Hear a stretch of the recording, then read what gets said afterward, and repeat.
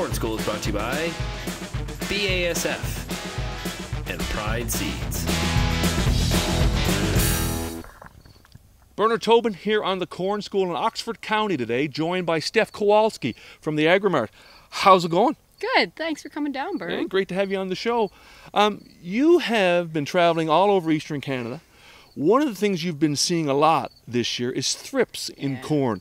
Tell us about what you're seeing. Yeah, so very unusual year. Uh, a lot of a lot of pest pressures, and uh, I was in Nova Scotia last Mm-hmm. week, and and easily finding thrips on the lower leaves of the corn out there. Uh, so it's just been been very widespread this Mm. year. Yeah. Talk about thrips. Paint me a picture of what I'm looking for, what I'm seeing Mm-hmm. on those leaves in that corn. Yeah, so I don't think there's actually a defined uh, term for it, Bern, but um, what you see is, is it looks like little scrape marks on the upper side of the lower leaves, and uh, and then on the underside is where the actual thrips are um, piercing and, and sucking the sap out of the plant. But but on the upper side, I'm walking through and looking for uh, little tiny scrape marks. It looks like basically. When it comes to thrips, what type of thresholds are we looking at from a yield perspective? Yeah, so that's the hard part, Bern, is there's no real defined thresholds for thrips. Um, you know, in horticulture crops, it, you know, we have those defined thresholds for thrips, but in, in corn, it's just, it, it, uh, it hasn't really been determined because it's so rarely an economical threat.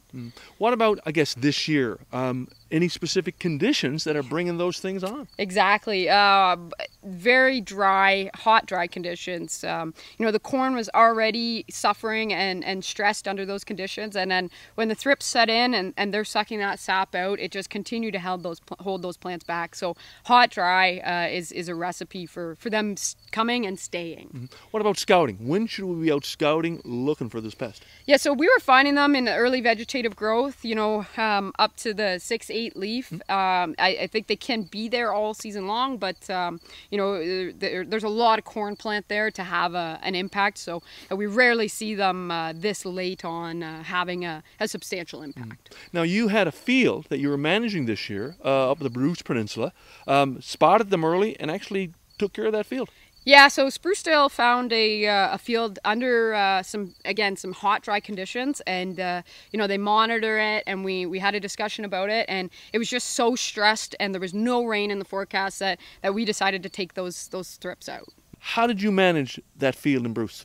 Yeah, so great question, Bern. Um, you know, we talked to Tracey Baute and we determined the stress on the crop was going to be too much. So uh, there's a variety of insecticides registered out there for some for control and some for suppression only. So we picked our best tool and uh, we actually put a foliar micro pack in to help ease some of the stress with uh, with no rain in the forecast.